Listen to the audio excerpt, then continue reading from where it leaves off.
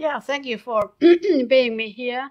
Um, if anyone had doubts about the relative nature of uh, terminology, that was a very good example to speak about full Mesolithic. And now I'm going to take you in the full Neolithic, and still we are in the sixth millennium uh, BC. uh, the so-called Danubian route uh, might be uh, a notion for some of you, especially those who made this morning session uh, in the other room, where uh, this uh, uh this map of Europe uh, must have been shown at least five times. So for those people, it is familiar. But now uh, that's a big migration took place. That's more or less evident now. also with many different facets, it is it is clear. But the question is now what happened in the aftermath. So this, this was the focus, it was a migration and what happened at the time and right before it. We are in the uh, core area of, of the birth of the LBK, which is considered to be the first farmers in Europe. Um, you can see that there is a kind of, of, of, of, of uh, central zone uh, with the last region. I don't know whether you can see my mouse. You can? No? No. Okay. Then I'm coming here. so uh, this is the last region with direct migrants and the first region where uh, you have the Central European LBK. What happened here was a kind of formation phase where migrants, uh, Balkan farmers participated, but, and for this, we have more and more evidence. Also, local foragers shaped the history of uh, uh, the, uh, the transition and hence also shaped the history of uh, the uh, first farmers of the vast regions of Europe. No. The um, chronological sequence can be seen here uh, for time reasons, I'm sticking with Transdanubia, that is the, the western part of the Carpathian Basin, but this, this is where the most important things happened. And you can see at the Lake Balaton, which is uh, the largest lake in Central Europe, that was the cradle of, of uh, uh well, the whole region was the cradle of these uh, shifts. And uh, you can see that we are in the second part of the sixth millennium and the time when the big migration, big uh, distribution to uh, Central Europe happened was no earlier than 500, 350 cal BC. Um, of course, there is a traditional view on that based on mainly pottery, uh, to a lesser extent on lithics. And uh, we are not throwing these evidence, these pieces of evidence out of the window because these are important. But of course, we, we try to um, bolster or question them with as many facets of, of uh, partly new evidence as possible. So we are uh, kind of combining everything that we have in our hands in order to uh, come to an interpretation. Uh, two uh, projects uh, were especially helpful in the last, let's say, 10, 12 years with that. first of all, there was a um, large uh, German-Hungarian uh, project uh, targeting uh, practically uh, getting as much uh, aDNA from Neolithic skeleton, skeletal samples as possible. That means 700. Later on, we also did the autosomal version, uh, the, the new generation uh, sequencing of these. But I have to, uh, I, I, hasten to say that this was an archaeologist-based project and not a merely aDNA project before hearing your critical voices. Uh, the second one was a precise uh, and uh, with Bayesian statistical modeling evaluated C14 radiocarbon chronology. That was an ERC project where I was responsible for the Hungarian part, which originally uh, was about 10% of the whole project, and it ended up at, at nearly 50%. So it was a big job, but it helped uh, tremendously to uh, set all the facets, the, uh, the typochronology of the finds, uh, the bioarchaeological, the anthropological data with uh, decade precise chronology. Um, to make it sure uh, what are the traditional phases of the LBK, I put four charts. Uh, some of them are still valid, like this one, which, which is about the formative, the, the birth of the LBK, as you can see in the middle of uh, the Western Trans, uh, uh, Carpathian Basin. Um, and there is an overlap uh, in between the migrant Balkan farmers called Starčevo, based on a Serbian site, and uh, the, the, the, kind of first uh, attempt uh, how, how, to be how to be, behave as an LBK as a as a as a first uh, uh, European farming community, and that was roughly at the middle of the sixth millennium BC.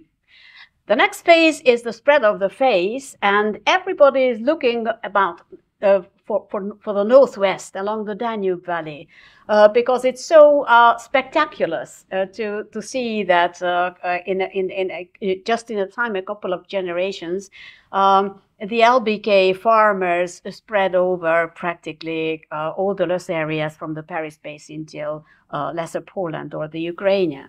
But uh, the truth is that there was also an extension to the south, and you can see um, their, mm, uh, distribution southwards to the southern edge of the Carpathian Basin, where, as you can see here in this uh, darker part, uh, a very strong impact reached them from the northern Balkans again and again, and that also shaped the later history of the 6th millennium BC.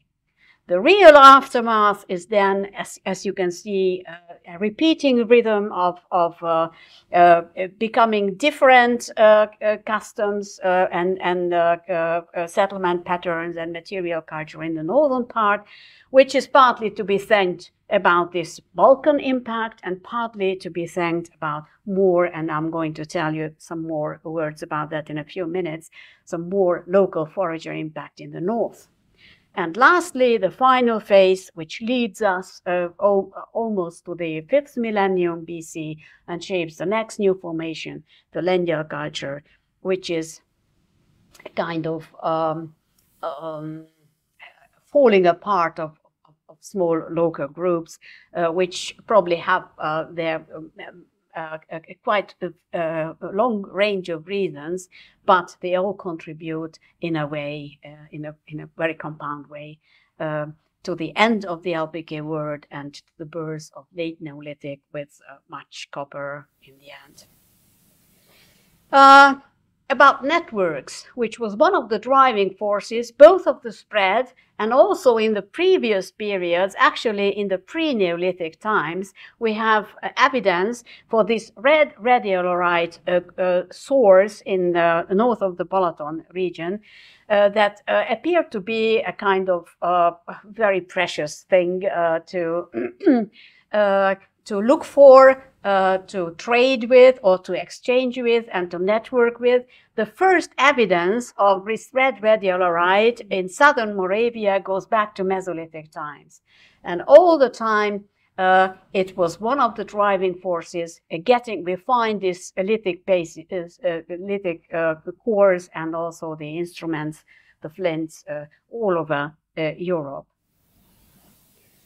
the formative phase of the LBK it can be shaped, and we know it from a, uh, an excavation about 20 years ago, by a, a, a tremendous amount of, of local foragers, uh, which, which is visible through the uh, ongoing flint sources and types. So it, actually, it's a pre-Neolithic tradition. About the, the Balkan pottery coming from uh, from uh, the northern edges of the Balkan, and from uh, a, a, complete LBK architecture, but I put the LBK buildings, this expression into a question mark or in, into a quotation mark, because uh, we have more and more evidence that the LBK buildings, the LBK longhouses, were invented by the late Starčevo people in the northern Balkans. So they took this uh, kind of knowledge with them. And so it was a kind of, of, of, of merging with local habits, and that was shaping uh, the LBK. Uh, looking north will be the next phase, but before that, I would like to, you to uh, take a, a bit southwards, you can see these different uh, colors.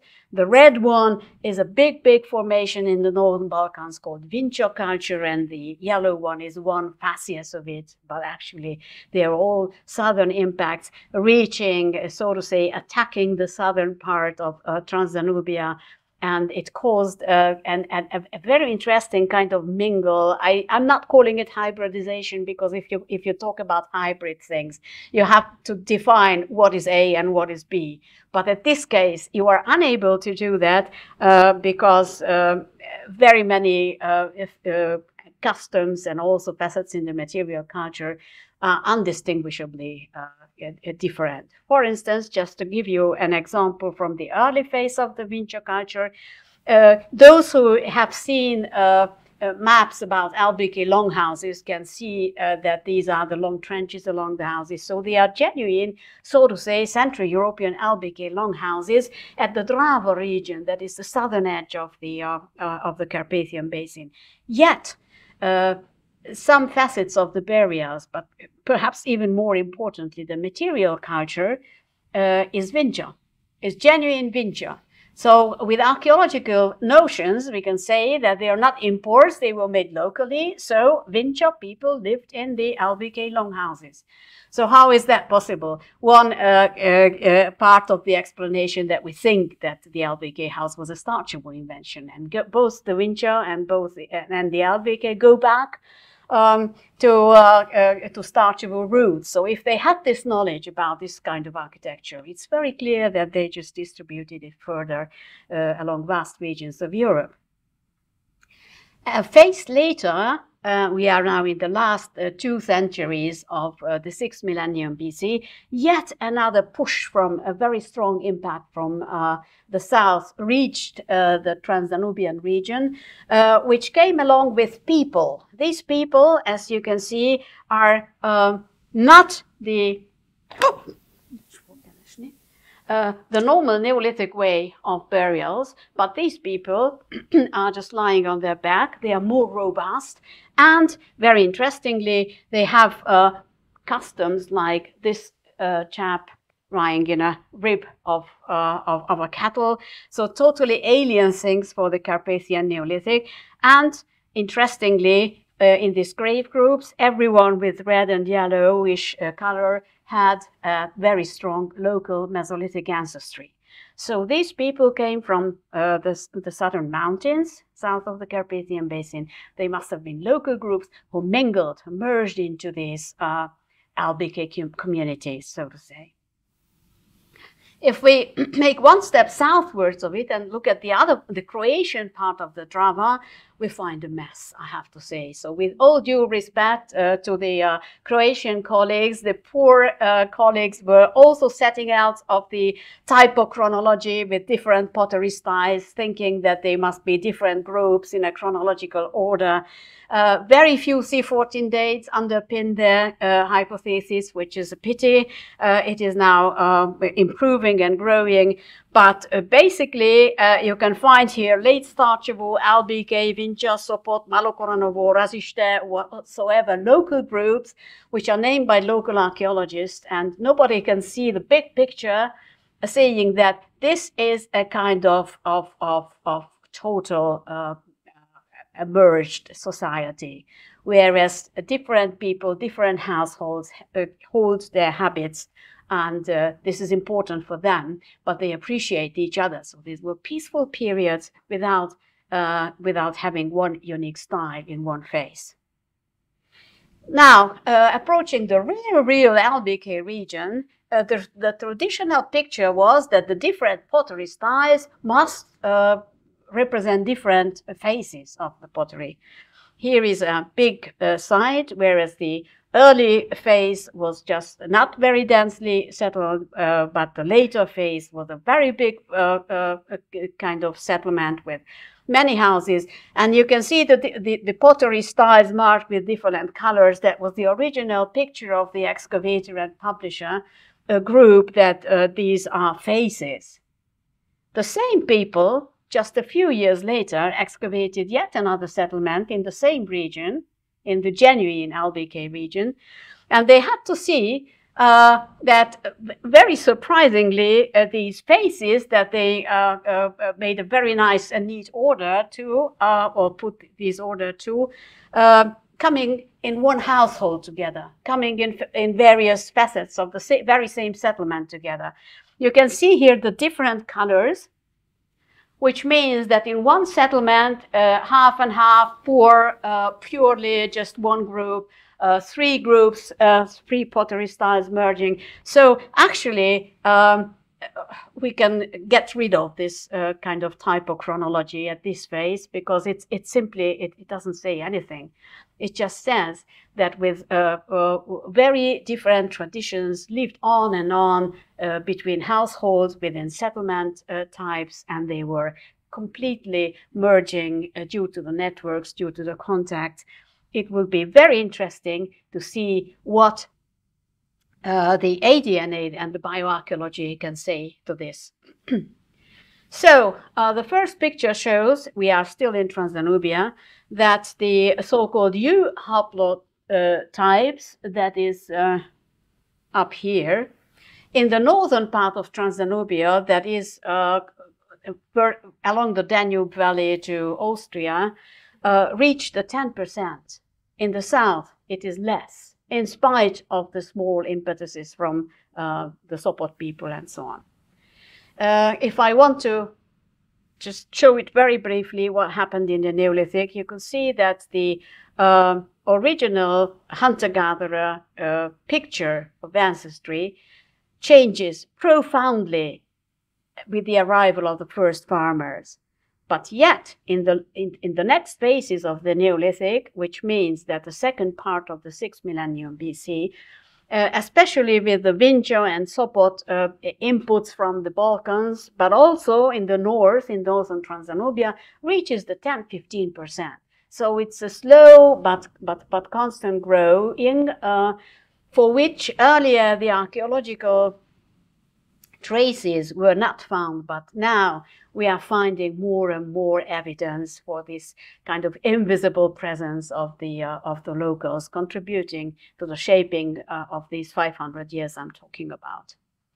About mobility, uh, just uh, uh, looking at the stabilized slope analysis, uh, I'm not going to speak about east, the eastern part of the Carpathian Basin because I'm running out of time.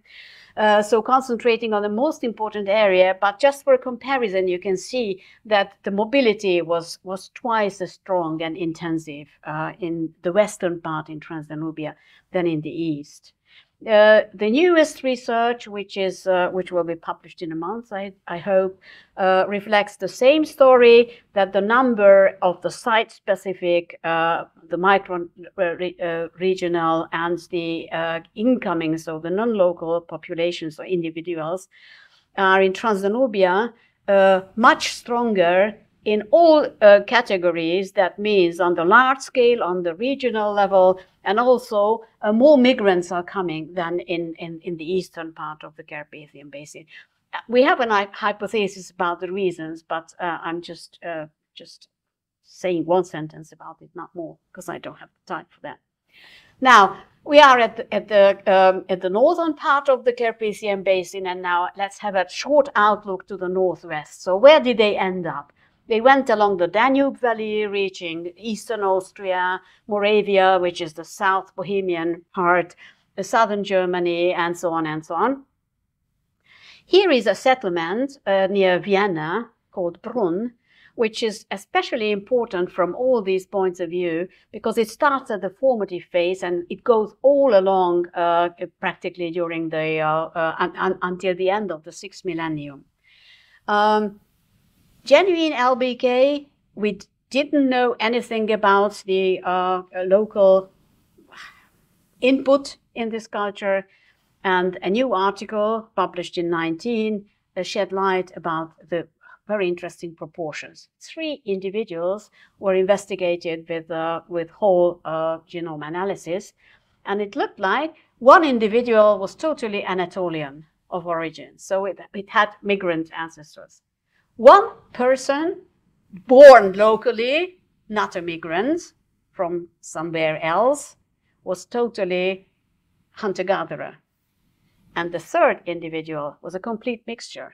That, that means that uh, originally uh, the contact between locals and uh, and and and uh, the first farmers must have been there but for some reason it is possible that they didn't genetically mingle. That means no marriages. Uh, there are a plethora of, of ethnographic examples uh, for reasoning this uh, that might be true might be not. This is this is something for the future. But interestingly, at this phase, at the at this northern part of the Carpathian Basin, it is already happening, and that it will. Uh, that's that's a first sign. Uh, where my next example shows that it it is uh, extending. This site, Vedrovice, uh, is in southern Moravia, so a bit further north and west of Brunn, where the first phase of the settlement evidently comes from Trans-Danubian migrants. So a group of so to say, uh, uh, uh, leapfrog communities that jumped into this very nice ambient and and built up their first village. In the next phase, it must have been must have attract locals from the uh, from from the surrounding mountains, who started to move in, and that altered, that changed uh, the whole nature of the LBK settlement to a great extent, up to the extent that the uh, burial customs changed completely. In the first phase, in Trans-Danubian phase, uh, the uh, skeletons were buried within the settlement. Having uh, the local foragers married into the community, in a few generations, they started to build up a complete different cemetery outside of the settlement with partly different customs. So I'm just drawing the attention of, of peaks, of small things, which you can put together in your mind, and in the end, you will end up with a with a picture that is a that is uh, uh, altering the, the, traditional typochronological one, uh, and also changing the ADNA picture because, as you can see, uh, it's none of it. It's a kind of combination. It's kind of an integration of the two kinds of evidence. Finally, a few words about possible reasons. So what on earth did they find so interesting along the Danube Valley to, uh, to uh, uh, reach vast areas of Europe within just a few generations? Uh, the dark side, the dark spot is the early phase and the greatest extension, as you can see from France to Ukraine, um, is uh, the developed phase of the LBK. If you put it like this, you can see the three peaks. The, the, the, the first farmers uh, reached into Europe. What are these three peaks? What are the three regions? These are the most renowned and uh, until today uh, very famous salt regions at the northern edge of the loess area. What does this tell us? Salt must have been a very uh, valuable commodity. They lacked it in the Western Carpathian Basin because the last uh, uh, salt mine was in Tuzla in Macedonia, which they uh, forgot and left because they looked uh, quite another direction. But it also tells us that they did not know, uh, they did not move just like in the unknown, just like having an adventure, but they targetedly looked for resources they lacked and they left their Transdanubian radiolite flints, which might have been something in, in, given in return. If uh, you put these uh, uh, facets of, of evidence together, then uh, you can see that uh, until the birth of, of the next big uh, cultural formation, it is it, every, anything else you can call that, but not a revolution. You can call that integration. You can call that reshuffling. You can call that call that restructuring, uh, mingling, merging, maybe even hybrid, hybridity. But I'm very cautious with that notion. Um, it is a very complex phenomenon, but the outcome is quite clear. Just one example. Finally, uh, as you can see, Bad Nauheim Niedermörlen is in northwestern Germany, is uh, more than 1,200 kilometers from uh, our formative phase. And there are the pottery sherds, there are the Transdanubian radiolarite parts. And Bad Nauheim as you you know from the Celtic period, is one of the largest salt mine also for the Romans, the Celtic and Roman periods in the Iron Age. So just one example for that. Uh, of course, uh, we can find uh, several more things to prove that the Lengyel culture, which I'm not going to say a word about because it's the fifth millennium and it's the next phase, was shaped by these southern impacts coming from the northern Balkans, the local foragers having their impacts, and this constant reshaping and restructuring.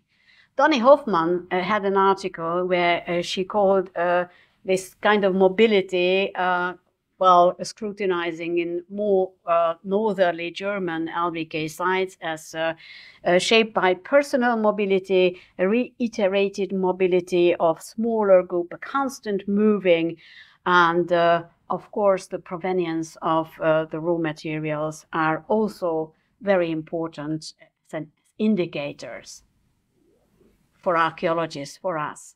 So putting all together and trying to find the kind of answer of the after, questions of the aftermath. So how did it look like? It was not kind uh, any kind of revolutionary, but it was a very complex, and I think to my mind it's a very human history because uh, everything we see is that not everything is complex and, and with very many facets.